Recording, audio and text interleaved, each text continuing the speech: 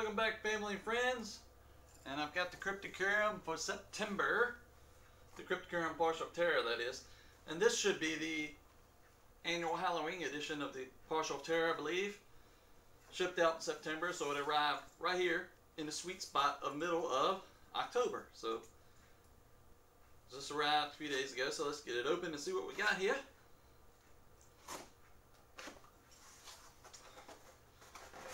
Alright, we got them open. Old duck knife, for those who don't know. A little duck knife. It's a little keepsake from my passed away grandmother, and I love, I love that little knife. Alright, we got black paper. See if I can get the flyer first. I see a nice Halloween orange flyer. So there we go. Yep. There we go. Halloween edition. Little witch down here. so that's great. Welcome to the sixth annual Halloween edition of the Parcel of Terror. It's no secret that this is my favorite edition of the year. I always try to bring you folks something new and exciting. To that extent, the main piece included in this box is something I've wanted to make for a long, long time. So, alright, let's get to it then. Yep, Cryptocurium Parcel Terror has been going for six years now. Wow! And I've got every edition. That's insane. So, if you want to see a lot of stuff that's featured from uh, Cryptocurium and Parcel Terror. I always put up playlist of Cryptocurium, Parcel Terror, and other items from Cryptocurium.com in the playlist below in the description box. So check that out. You'll see all kinds of great handcrafted horror stuff. So that said, grabbing this out, we got of course a little Halloween goodie bag, little pumpkin bag, which is like we got some uh, fun size Milky Ways, sucker in there, some chocolate, and a little sour Twizzler, sour punch Twizzler type thing, and the Milky Mini Way. Milky Mini Way. What is that? But anyway, the fun size Milky Way little fun candy bars, but I call them piss you off size because they're so little. You just want to eat like 25 of them. They're not fun size at all. But thankful for that. Alright, we got some uh, some artwork this month. And could this be some artist that is always featured? Let's see. That's pretty cool. It's like a little Halloween trick-or-treat trail going into a monster's mouth. Or it could be a trap of some sort for a trick-or-treater. As you can see, right here, I'll give another good look at this later when we go through the uh, the flyer of the items, but it's like a monster back here. You have a candy bar, and Trick Cheetah grabs it, gets sucked, sucked right inside. but that's pretty cool. I'm not sure if this is the Sam Heimer's work, but we'll see. Couldn't remember his name a while ago. We got another one here. Ooh, one of these I love. This is just like a raven or a crow sitting on a, a jack-o'-lantern. It's pretty pretty neat. I like it. Got some really dark um, orange and purples. There you go. Quite a few art pieces this week, this month. Next up, I really like this one. This is a fun, like cartoony um, style here. Just look at this. Look at that Just take that in. I'll hold it there for a second. it's very uh, vintage cartoon style. You know? Love it. Alright. And here is the Cryptocurium business card. One in every box. Link will be in the description below if you want to visit Cryptocurium. Get your parcel terror every month. And we have a Whopper.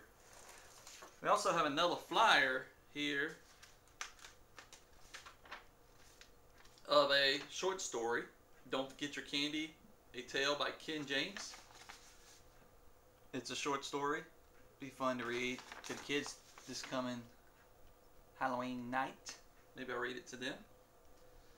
But he, uh, Jason Kitchen Stories features some uh, spooky Halloween short stories by his fellow friends and artists and writers and things in the Halloween edition of Parcel Terror every year. But we got this here in the box. Oh wow. I got a good look at the back of this. I hope this thing this thing is amazingly interesting. The Sentinel Jackling. And if y'all don't know what Jacklings are, they're his uh he features Jacklings. He sells Jacklings on um on the Cryptocurium website and they're just little sculpts of different little jack-o'-lantern figures doing different little things. But look on the back of this guy. It's kind of like a build-your-own Sentinel Jackling, Jack, Jackling.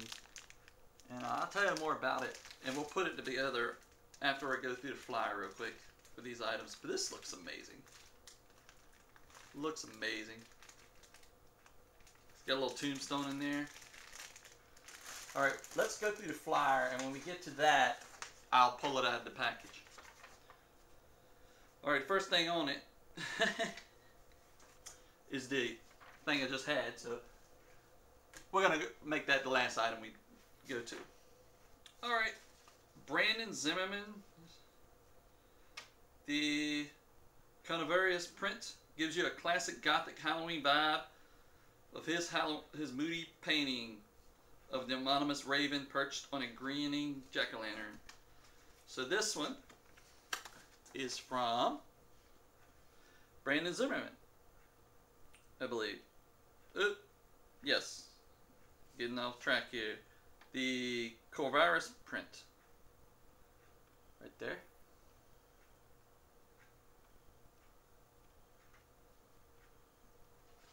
Next up, we have the Pumpkin Punks. That's got to be the old vintage look thing. Kelly Capernelli, is that how you say it? Has conjured up a playful print of pumpkin punks canaverting in the sim convert carousing in the cemetery. Can't read on a Halloween night.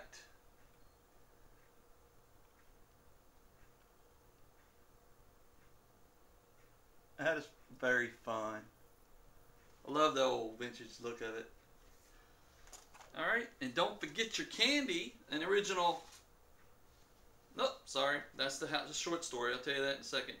You Were Warned art print by Sam Heimer brings us a cautionary tale to warn trick-or-treaters of the dangers of lurking in the far-off places of Halloween. So if you go off the beaten path, you might get slurped up by a monster. Thought that was Sam Heimer. I have gotten used to his signature style. That is pretty neat. Let me get it in there so you can see it again. You got a monster in the back back there and a candy trap right here. Suck them right up. Alright, and next up we got the Don't Forget Your Candy short story. An original Halloween short story by Ken James of Other Dangerous Podcast. So there you go. And now we're going to get back to this big boy.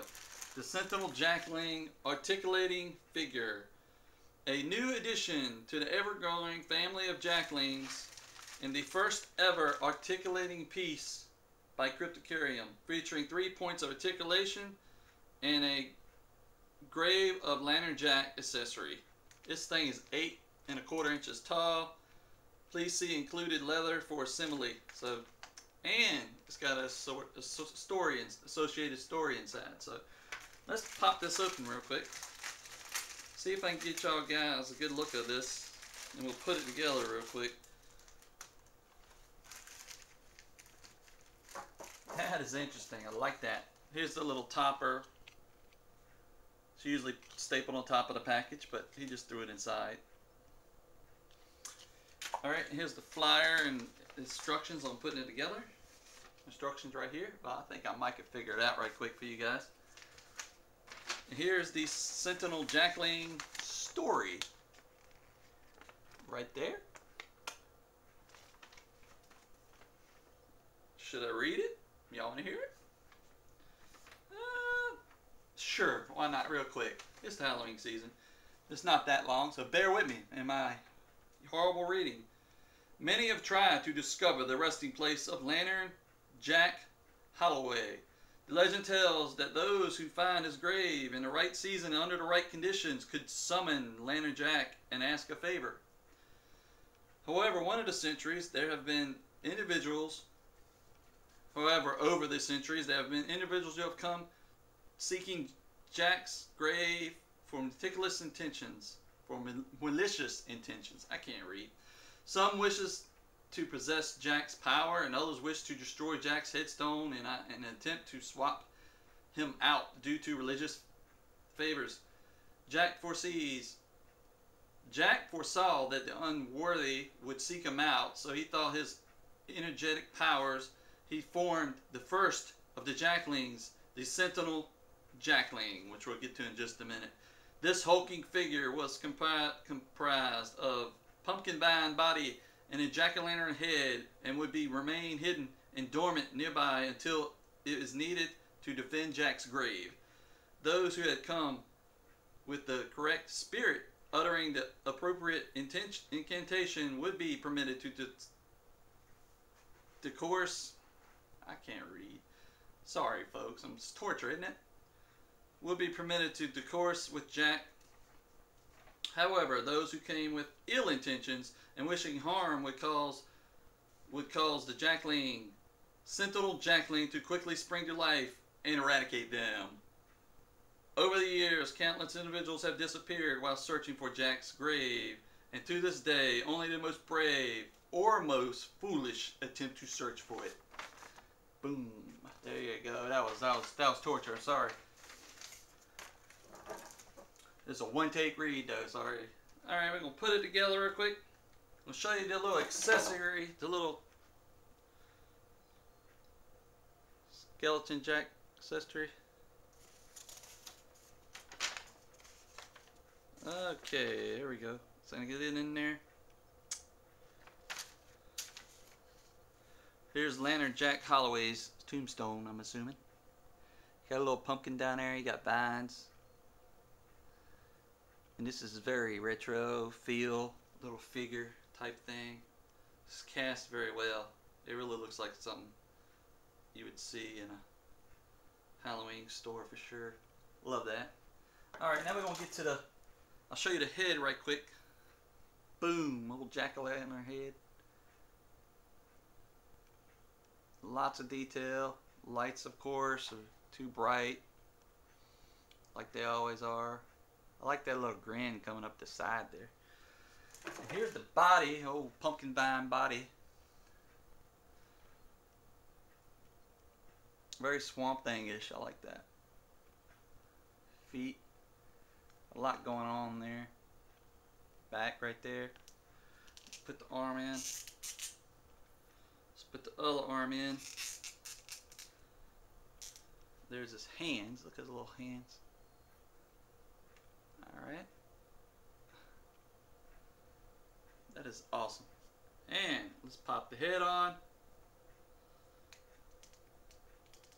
Boom. There you go. Look at this guy. Look at that. It's amazing. Can move his arms up and down. His legs don't move, but his arms and his head twist. So there are your three parts of articulation. You got your head movement back and forth. And you got your left and right arms that go up and down.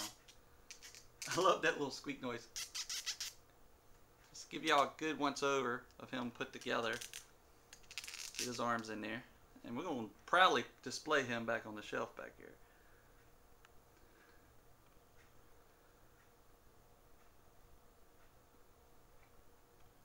Alright, the back side again. It's nice and green, the light, nice and green and orange. The lights wash it out, make it look very light green, but it's kind of very dark, bright green. So there we go. He's gonna look great back here by the headless horseman. that was in one of the Halloween parcel terrors over the years. You had the headless horseman wall plaque from years ago. You had the uh, flying jack pumpkin. Pumpkin. I, I can't remember the name of this, but jack o' lantern with wings, wall plaque. It's huge. Love it. And this is one of my favorite items that got sent over Halloween from Cryptocurium. It's uh can't remember the name of it. Could be an old Jack or something. Yeah, this actually might be Lantern Jack himself. The Lantern Jack himself wall plaque. Look at that. I like the pumpkins in the bottom. And this thing does not do it justice on a camera. It is so much detail in there. And it's nice bright Halloween orange. But now I got a Sentinel Jack. Jack leaning stand up on the shelf. Let's see, let's see if he'll stand up. Will he stand up? He will. There he goes. He's up there proudly. I think I'm going to stand him to the side just in case. There we go. He looks a little better to the side there. But everybody, that was the sixth annual Halloween Cryptocurium Parcel of Terror. And I'm also going to add a few notes here. If you are a subscriber to this Parcel of Terror and the CryptoCast figurine, um, monthly figurine, you would have included in spots got a skeleton ghost figurine. That would have been cool. But I can only afford to get Parcel of Terror, so that's fine. I love supporting the Parcel of Terror. And that's it. Thank you for the subscription of Parcel Terror. Hope this package makes you this Halloween a little bit better for you. And next month, for the official October Parcel Terror, is mermaids. So that should be interesting. And what was your favorite item in this box? Of course, I love that Sentinel Jackling. I gotta put the little tombstone up there. Forgot to do that. So let's put that up there, right at his feet. Now he's guarding. He's guarding General. Can't talk. Lantern Jack's grave. He blends in nicely with all these, you know, strange guys up here. Now he's the tallest one back here. That's amazing. And it's the tallest Cryptocurium piece I have. So that's cool. All right, everybody.